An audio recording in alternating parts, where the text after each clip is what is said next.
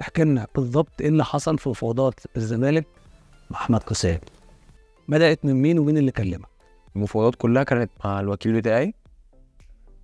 آه، في الأول خالص كان أول مكالمة اتكلمتها كان وأنا في المنتخب. في الإمارات. آه تمام حلو. كنا في الإمارات وحصل زي مكالمة بسيطة كده مع الوكيل بتاعي وحد مسؤول من نادي الزمالك.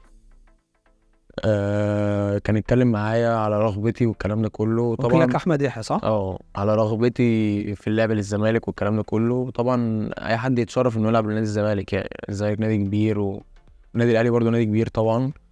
فطبعا قلت له توازن أنت ها؟ عشان لا والله مش- موازنة على حاجة والله بس دي حقيقة. يعني هي الكوره أهلي والزمالك في مصر مع احترامي لأي نادي تاني بس آه، أكبر ناديين في مصر. بس فكان طبعا قلت رغبتي طبعا إن أنا ما عنديش أي مشكلة وشرف ليا إن أنا في نادي الزمالك. ومن هنا بقى ابتدت المفاوضات واحدة واحدة كده كان لسه القيد مقفول كمان. آه كان لسه الزمالك ما كانش عنده اغلاق قيد ما كانش سامع آه، الفلوس. وأنا بصراحة يمكن بقى دي ممكن شوية قلة خبرة مني بس أنا ما كنتش أحب إن أنا أدخل في في جو المفاوضات ده كنت بسيبه. لأحمد عشان عشان ما ياخدش من تركيزي. ممكن يكون عندي قلة خبرة شوية إن أنا أعرف أركز في الحاجتين فكنت لازم أفصل في وقت من الأوقات لأن هو كان مو- وقت حساس قوي ليا كان لسه احساس من لاعب ما كانش بيلعب سنه اولى دوري ممتاز. وما لعبتش 40 ماتش يعني أنا لعبت في الأول في الآخر خمس ست ماتشات فأنا محتاج اللعب ومحتاج أركز مع فرقتي و... وإحنا كمان زي ما أنت عارف إحنا لسه نادي أول سنة لينا في الدوري الممتاز بعد ما هبطنا فكان لأ محتاج في الوقت ده إن أنا أركز مع فرقتي أكتر. بس. فكانت زي ما بقول لك كده أول مكالمة في. في الإمارات. وزي ما قلت لك كده بديت رغبة طبعا الزمالك نادي كبير وبعد كده بقى سبت المفاوضات لأحمد لما رجعنا بقى. مفاوضات بقى خلال مفاوضاتك مع نادي الزمالك الكلام في الأول كان إن هو العقد هيبقى بيع نهائي. وبعد كده اتقال لأ اللي هو هيبقى عرض نيه البيع.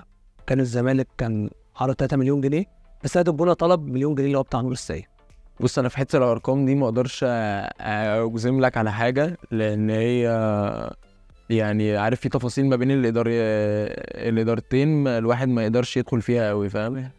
بس اللي أقدر أقول لك إن هو لأ كان في مفاوضات وكان في كلام كان آه بيتكلموا في الأول في في بيع نهائي.